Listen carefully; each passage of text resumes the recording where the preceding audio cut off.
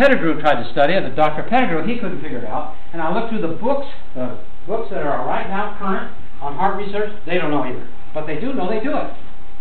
So I thought, why don't I just take the idea I had about the, the cones and put it together? And I did. And I realized that uh, the cone is layered, so it means part of it is going underneath. So what I did is I took two cones. I made two cones. Got a paper clip here, take it off. I put them together, like this. So this is what I found out. If I take this, uh, this is my original form, and I may not be able to get it right, and I don't even see my paper clip, but uh, at least I have one. Let's see. Um, paper clip towel? Okay, all right. Uh, that's good, because that'll be on my second one. So I twist this until they make a cone. I made a cone, and I have to make sure that when I put this together, that it's lawful, that it's not based on some kind of thing I want to prove, because that's what I want to do. I got to find that cone. That's behind the table. Where is it? Oh, yeah, that's, that's another one of my experiments. It didn't work. Um, I had a plastic toy. Oh, thank you very much. Man, it's very helpful. I made sure that's the right one. You know, and you have to make sure that what you do is correct. So you have to make sure that that cone was really the size of the real cone. So what I did was I twisted it around like this. Until I came together with the very beginning of the edge of the cone. So now I have four and a half cones. Right there. So then I did the same thing on this side. I decided I'd put these together, and that's why the other paper clip would be great for the pair. The original ones, and the reason I haven't changed it is because I've just been working on other stuff. Uh, but if I put it together, which this is, that's just really excited me for a month. Now that cone is going in. Over here, on the Oh, table. yeah. I should make it out of red or something. And make sure again that it's the right size. And then I decided that I would put this together like this. Oops, came off. I would put this together to meet my other one here, as I got the other one still holding here. I take this around like this. Let's hope I do this right. And when I came all the way around here, no, it's not right. I think it needs to be on the other side, like this. Can you hold that one cone for me? Yeah, that's great. This is, works better with four hands. Three hands. All right, let's hope that I can do this, because this is really something. If I can show you this. If I twist this around and make it into a cone too, which is kind of bends up, but, you know, it has to be kind of paper to be thin like this. And I roll it around, let's see if I'm going to get this right or not. If I don't, I'll just do it again. But it's important to see this because this is coming off of research that's based on there. So here it goes. Now they meet. Now they're both four and a half. They meet right in the middle. They broke four and a half. Well, sure, that's not very good because I have two separate cones that are connected. That's not work. It doesn't work. Another failure. But then I was studying shells, and I watched what the right hand and the left hand shell do. And I realized that, well, why don't I just do what the shells did? And instead of doing this, I just continued wrapping this around. You can go either way.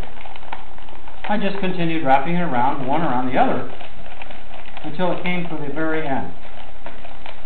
And when it came to the very end, I still have this one cone here, kind of getting messed up, but that's all right. I came to the end, and there was now eight layers and one. What do I do with this one? All I have to do is fold it there, and what do I have? I have the right and left ventricle. This is the vortex that's being pushed off to the side. So, what I did was to find out if this would work out with this layering. So here's the layering, going this way, and I unfold it, it starts to flatten out. It does. It's now going horizontal, which is what the heart does. And then it should reverse and go the other direction, and it does.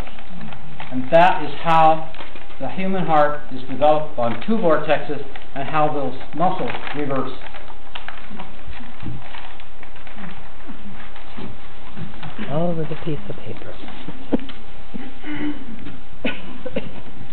Putting them both together, the inside and the outside, this is what they look like with geometry. But I had to make the geometry move, because what I found is that the heart moves on the outside, okay, only a little bit. And I found out that the cube is the limiting amount. So if I move the geometry, sometimes this gets stuck, but if I move the geometry, it will move only a little bit. It will twist a little bit like that. You see it twist? But the inside doesn't do that. The outside goes like this, but the inside goes like this. So how is that going to make the inside twist and the outside just go like that? Well, I went back to my models and I got uh, O-rings and all kinds of stuff, and I made this model. And this model right here shows the outside and the inside filled with blood. Now it's emptying. Now when it empties, the inside's got a twist, and it does. It twists like that, and it opens up and fills. It fills, empties, and then fills again, and then twists and empties. This is how the inside geometrically works in the human heart. And it moves 40 degrees. It only moves 40 degrees, and then it stops about right there. Right there, it stops. And I know it's 40 degrees because I can measure it. And I also look in the medical books, and they say, documented, that it only moves 40 degrees. If I can move this another 5 degrees, what happens at the bottom is you now have a fifth chamber in the heart. Mm-hmm. There is a fifth chamber in the heart that's come in here, right there. It even has a new valve. It has a tricuspid valve right there. That is the fifth chamber that Pfeiffer is talking about in Rudolf Steiner. All we have to do is to move our hearts about five more degrees, and this will happen. And this will allow the etheric, this will allow the etherization of the blood to start to go up, all right, to the pituitary and the pineal gland, not through medication on some kind of light going up there, but by the transformation of our heart. Not sitting in the corner thinking about the light, okay, but actually working in the world, okay, trying to get a more flexible heart, trying to get a heart that can move more, trying to be more open to the next person, okay, and be more heart-oriented, okay, not based on fantasy, but based on the geometry that's showing that when you twist the heart five more degrees, a new chamber comes about. So I'm going to try to catch this uh, DV up, DV up a little bit. I've got a few minutes according to Gordon. So let's see, I'm going to move pretty quick here and show you other images. This is showing the tube spinning and the motion. This is the geometry of it, how I make sure that it's lawful. Uh, here's the inside of the heart. You put it, here's the uh, inside the heart that I did in the uh, artistic side through a bubble. And there's the geometry. And you notice that there is a